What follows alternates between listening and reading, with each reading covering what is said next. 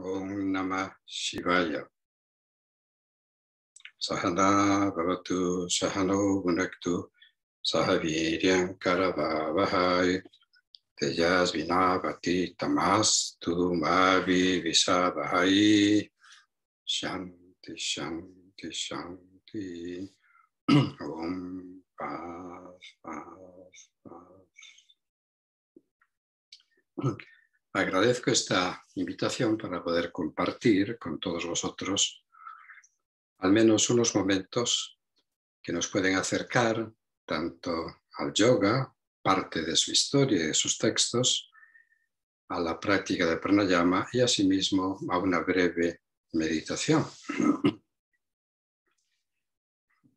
Consideremos por un momento que en uno de los Upanishads, que vienen a ser realmente la, cima del pensamiento de la India.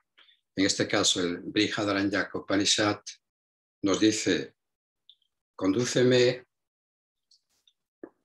de lo irreal a lo real, de la oscuridad a la luz, de la muerte a la inmortalidad. Y aquí, a través de esta cita o esta frase, nos lleva a entender que se busca lo profundo, a diferencia de la filosofía occidental, que hace especial énfasis en el razonamiento, la lógica, la elucubración. Asimismo, la filosofía de la India también tiene en cuenta estos aspectos filosóficos que no son otra cosa que amor por la sabiduría. No obstante, la diferencia fundamental es que en Oriente en este caso en la India, a través de esos grandes exploradores de la conciencia y de la búsqueda de respuestas al misterio de la vida, lo que realmente hacen, lo que llegan en realidad a experimentar, son otros niveles de ser, otra forma de conciencia. A través de esa sed de conocimiento, no inventan nada, sino que acceden mediante la experiencia personal a otro estado de entendimiento, de conocimiento, es decir, más allá de las limitaciones en las que todos estamos atrapados, que son el cuerpo y la mente. En estas enseñanzas contenidas en estos principales Upanishads, son los 13 o 14 aproximadamente, que para ser entendidos, pues requieren de una serie de interpretaciones que son dadas por diferentes y grandes maestros. La conclusión final en la que, a la que estos Upanishads llegan no viene a ser otra que esas grandes frases, mahavakyas, sentencias poderosas que nos dicen Aham Brahmasmi, es decir, yo soy Brahma, yo soy lo supremo, yo soy lo infinito.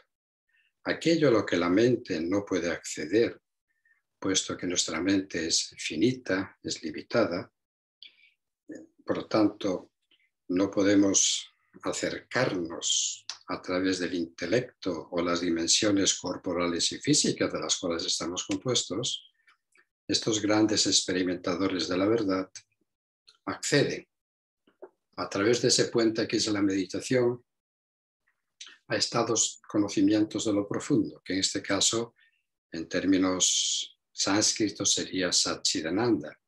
Yo soy existencia absoluta, entendimiento, conciencia absoluta y dicha absoluta. Esa es mi verdadera esencia, mi verdadera realidad.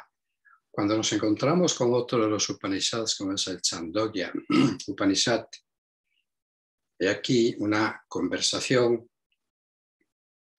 entre Udalaka y Swetaketu, que es su hijo, y este hijo, lógicamente, le pregunta a su padre a través de las enseñanzas que le va impartiendo que quiere saber más y más. Y así hay varios ejemplos. Por ejemplo, corte estebaniano. Le dice Udalaka a su hijo Suetaketo. ¿Qué es lo que ves? Semillas. Corta una de esas semillas. ¿Qué es lo que ves? Nada.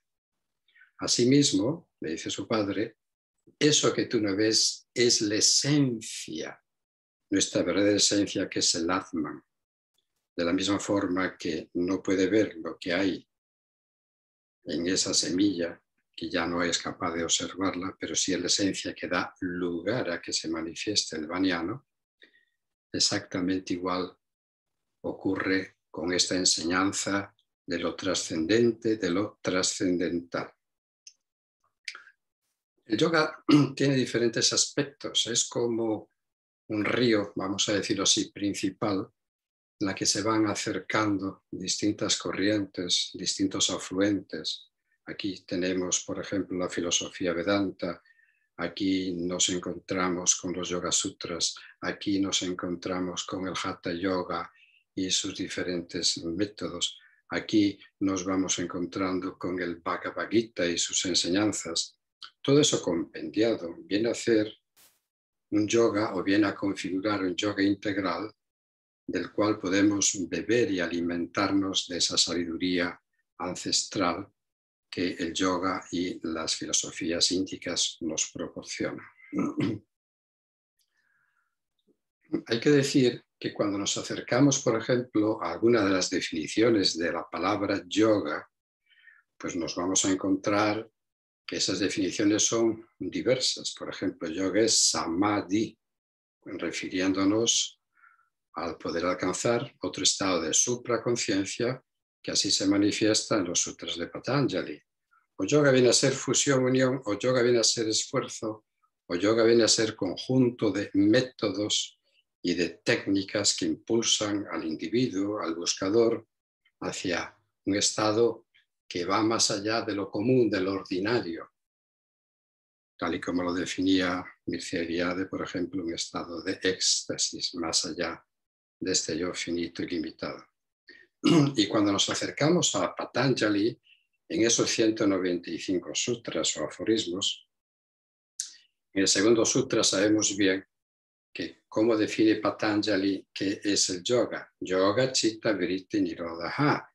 Yoga no es otra cosa que la cesación de las modificaciones de la mente, dando a entender que es la mente la que construye esta realidad de este cuerpo y esta mente, pero cuando esa mente, esos britis, esas olas mentales tienden a detenerse, podemos ver realmente lo que hay detrás. Es como un lago en continuo movimiento, un oleaje constante, pero cuando el agua queda detenida, cuando el agua, el lago está tranquilo, inmóvil, como si fuera un espejo, nos permite, nos permite ver con claridad el fondo del lago.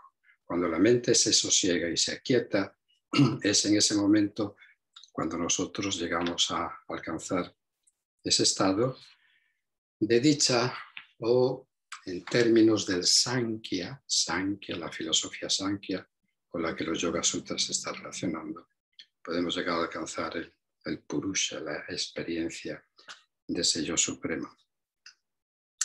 Y esto se da, y lo explica Patanjali en el tercer aforismo. Si nos encontramos con el primero de ellos sería Atta Yoga Anushashanam. Ahora, en este momento es cuando el yoga se explica. ¿Qué significa? Diversos autores, diversos expertos, distintos eruditos tienen concepciones distintas con respecto a este primer sutra. No obstante, yo considero ahora, en este momento, es decir, cuando ya el alumno, cuando ya el chela, cuando el discípulo está preparado para indagar, para buscar, tiene un enorme interés, eh, es capaz incluso de viveka, discernir, discriminar, entonces en ese momento es cuando surge Atta Yoga Anushasana. Es el momento en que el yoga puede ser explicado para ser hasta cierto punto comprendido. Y es cuando lógicamente, Yoga Chitta Vritti Nirodha viene apareciendo en el segundo sutra, sutra de sutura, se va hilvanando, uniendo un sutra a otro. Es cuando en el tercer sutra nos aparece Tada Drastus Swarupe Vastanan, es decir, entonces Drastut, el testigo, Drasti, el ser, la conciencia, como queramos verlo,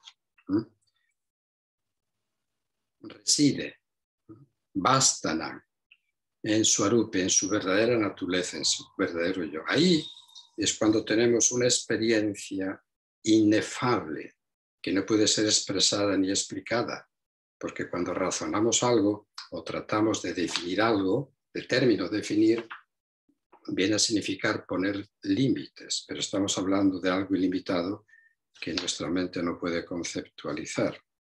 No obstante, si no llegamos a ese estado de detenimiento de la mente y por lo tanto tener la experiencia del ser, automáticamente nos vemos volcados como un oleaje continuo, que son lo que la mente produce mediante esas olas mentales, ya nos encontraríamos con ese cuarto sutra que sería Briti, Sarupi y Taratra. ¿eh? Entonces, o sea, Briti, las modificaciones, las olas mentales, ¿sí? Son asumidas, son generadas, son producidas en esos otros momentos. Por lo tanto, el término por excelencia o por antonomasia, de acuerdo con el yoga clásico, viene a ser lo que Patanjali define. Pero también si nos acercamos al Bhagavad Gita, veremos que yoga es la habilidad en la acción, yoga es ecuanimidad, yoga es equilibrio. Consideremos, por lo tanto, que las definiciones son múltiples y depende desde qué perspectiva lo vayamos a tomar. Hay otros aspectos prácticos del yoga, sobre todo en el Hatha Yoga, que aparecen en, muchos de los textos y diferentes tradiciones. Como bien sabemos, en el Hatha Yoga Pradipika, que no meramente es un yoga físico. Recuerdo, aquí una pequeña anécdota, estando conversando con Iyengar, BKS Iyengar en India, en una entrevista que le hice, pues él me decía, bueno, pero vamos a ver, ¿qué es el yoga? ¿Cómo los occidentales decís que yoga es ejercicio físico? ¿Tú has leído Hatha Yoga Pradipya? Que decía, sí, Guruji, sí. Y el cuarto capítulo que dice, ¿de qué trata? Efectivamente, trata de lo que es la meditación para ir más allá de todos esos aspectos, ¿no? Y consideremos que en el Hatha Yoga mismamente aparece en el primer verso, en el primer capítulo, el yoga, el Hatha Vidya, el conocimiento del Hatha Yoga es como una escalera que ayuda al yogi a alcanzar el Raya Yoga. Así que muchas son las vías, muchos son los caminos, muchas son las fórmulas.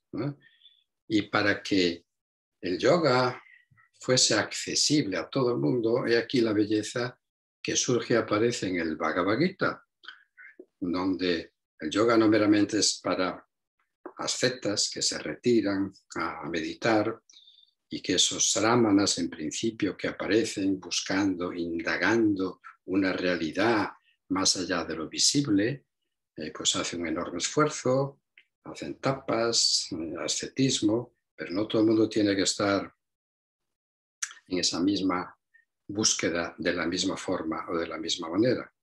De ahí que una forma de renuncia, por ejemplo, la encontramos en el Bhagavad Gita a través del Karma Yoga. Llevas a cabo las acciones, pero procuras tener las mínimas expectativas por los resultados de la acción. Tenemos el Raya Yoga en el capítulo sexto, nos explica ¿eh? cómo meditar, por ejemplo.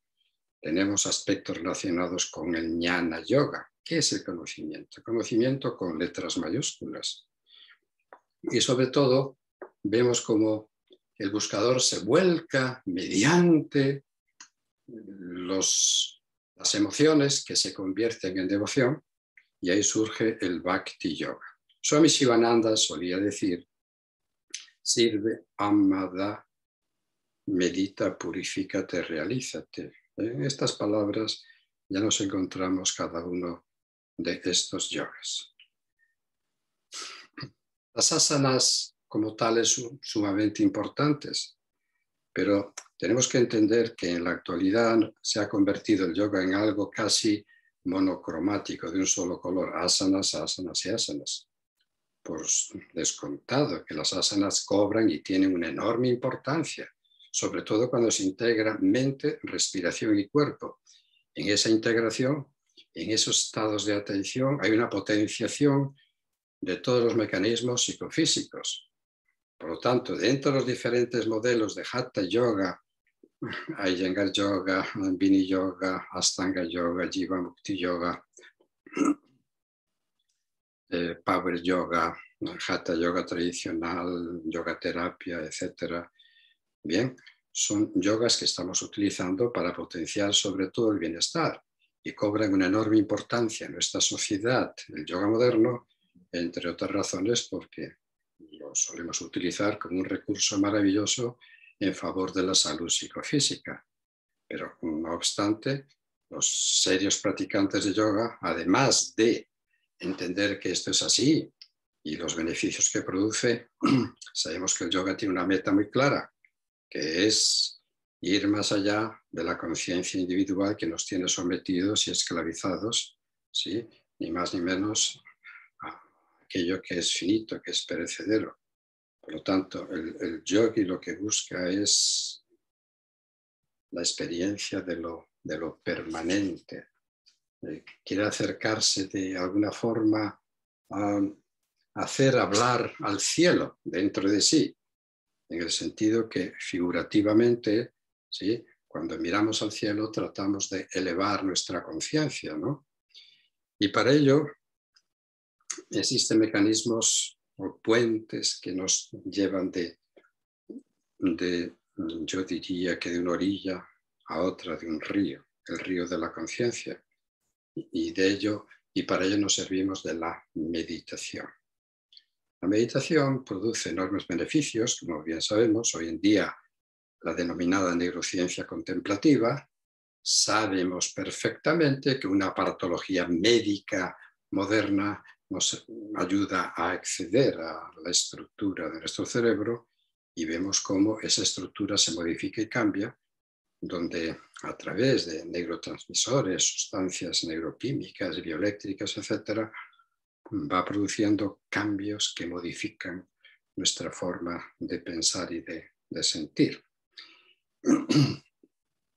Así que explico una breve meditación que luego, si lo queréis, si queréis, si lo deseáis, podéis efectuarla eh, en una parte por vuestro lado, que tengáis tiempo para poder dedicarse.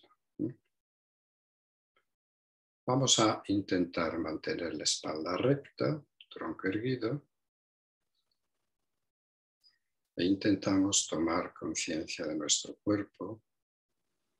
Lo sentimos cómodo, relajado. Hacemos un barrido, un recorrido corporal, brevemente, desterrando cualquier estado de tensión que podamos sentir y notar.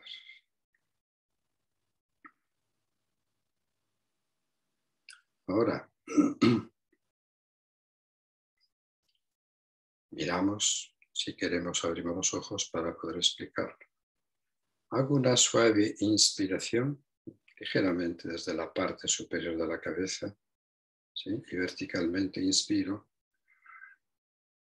hasta la altura del corazón y luego expiro desde aquí lentamente hacia arriba dirigiendo el movimiento hacia la parte alta. De nuevo inspiro y vuelvo a expirar lentamente. Voy siendo consciente de ese movimiento de la inspiración que la mente lo sigue, descendiendo hacia la altura del corazón. Y voy expirando, llevando siendo consciente de ese movimiento hacia la parte alta de la cabeza. Seguimos así durante un momento. Traemos la atención a ese proceso.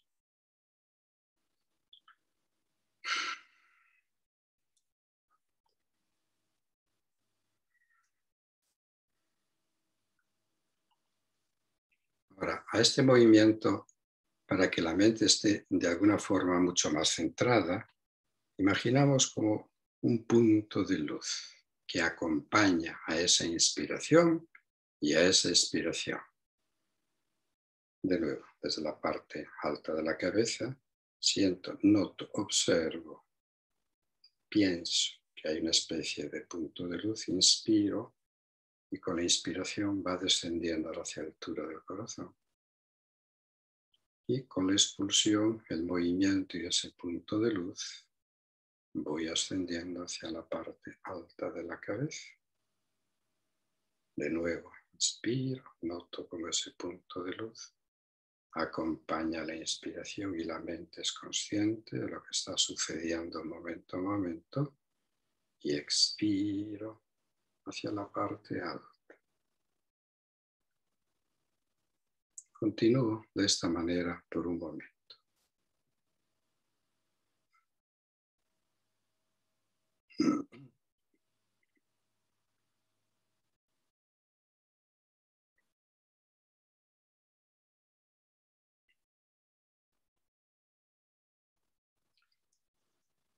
De nuevo, para que continuar con la explicación, que luego al final la podéis integrar y dedicarle 15-20 minutos por vuestra cuenta a la meditación. Ahora, a la respiración, al punto de luz, añado la repetición del mantra Ham Sa. Ham Sa. Con la inspiración, desde la parte alta, el punto de luz, y voy descendiendo, inspirando Ham hasta la altura del corazón. Sa hasta la parte alta de la cabeza. Ham con inspiración, recorriendo ese punto de luz me acompaña. Con la expulsión, sa, ese movimiento expiratorio, la atención puesta a sí misma en ese movimiento. Ham con inspiración. Sa con la expiración.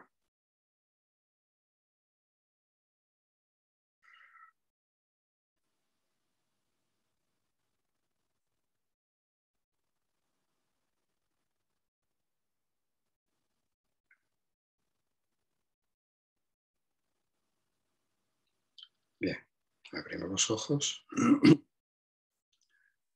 Tengamos en cuenta que hay cientos de métodos de meditación.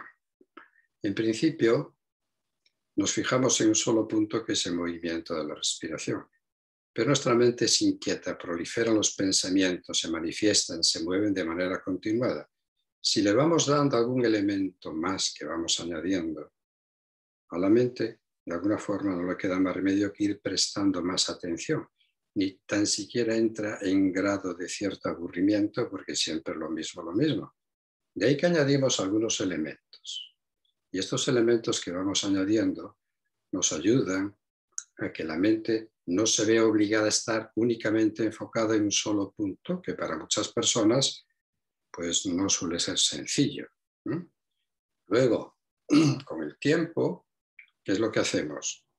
retiramos todos esos elementos que nos han ido apoyando en la meditación. Cuando ya hay un cambio en las ondas cerebrales, en el ritmo cardíaco, en el ritmo respiratorio, ya podemos integrar la meditación para observar solo anapanasati, es decir, el aire que entra por las fosas nasales, el aire que sale por las fosas nasales. Soy consciente de ese proceso, el aire al entrar Dejo que se produzca, no intento controlar ni cambiar nada, el aire al salir. Mantengo la mente de un observador. No trato de estar reaccionando, identificándome, juzgando los pensamientos que surgen. No los selecciono. Estos me gustan, me quedo con, eso, con ellos. Estos me desagradan, los rechazo. Lo que en Raya Yoga se llama raga y dvesha. Aquello que quiero, que me gusta y aquello que tengo cierta aversión o no deseo. Acepto todo lo que va sucediendo en el campo de mi conciencia. Cuando yo me doy cuenta, cuando soy consciente que mi mente está atrapada en irse al pasado, al futuro, lo acepto pacientemente, vuelve mi atención a observar la respiración. Y todo esto debería hacerlo con el tiempo, voy añadiendo el tiempo, media hora como mínimo, para regular todos los procesos que se pueden dar a nivel psicofisiológico, integrando la meditación en mi vida, mis capacidades mentales se van a acrecentar, mi nivel de atención, se va a reducir el estrés, ¿eh? va a reducirse el cortisol, por otro lado, la fatiga, el insomnio, el nerviosismo, la ansiedad. Por tanto, la meditación es uno de los grandes elementos aceptados hoy en día por la ciencia, que cuanto más estudia, más beneficios nos damos cuenta que produce. Namaste, toda la dicha, toda la felicidad os deseo y siempre práctica diaria de yoga a ser posible. Om Namah Shivaya.